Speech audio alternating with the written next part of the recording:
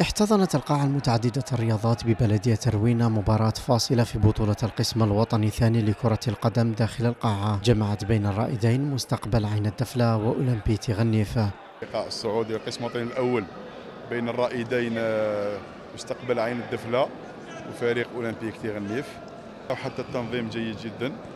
آه، نتمنى من السلطات المحلية وخاصة مدير الشباب والرياضة باش يرافق فريق عين الدفلة. يحتاج الدعم يحتاج عدة أمور. إن شاء الله تكون مرافقة جدية من طرفهم لأنه فريق يحتاج يستاهل كل خير. فريق منظم فريق محترف في العمل تاعو. المقابلة انتهت بفوز فريق مستقبل عين الدفلة بنتيجة ثلاثة أهداف مقابل هدف على ضيفه أولمبي تغنيف ليحقق بذلك المستقبل الصعود للقسم الوطني الأول.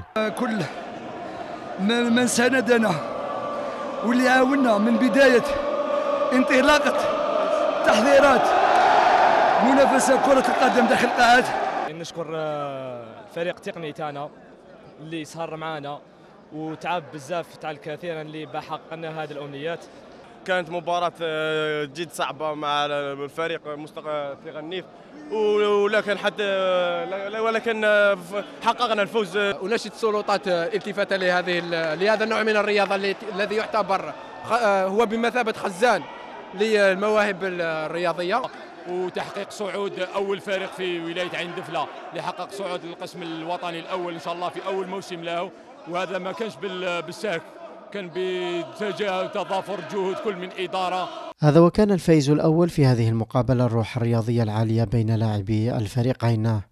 félicitations l'équipe مستقبل عين دفله اللي كانوا في المستوى bon الحاجة الأولى نقولوا بلي هذا هو هذه المقابله هذه كرة القدم. فيها رابح فيها مهزوم. حنا رانا فيليسيتينا الزملاء تاعنا. السلام عليكم. بينا بغينا نسيروا الماتش. ماركينا بيت. زادونا خرجونا من الماتش. زادونا deuxième troisième. ما كتبش ربي عقوبة العام الجاي إن شاء الله. الجمهور الحاضر استمتع بعروض كروية جميلة وتفاعل مع أداء اللاعبين البطولي لتحقيق الصعود إلى القسم الوطني الأول.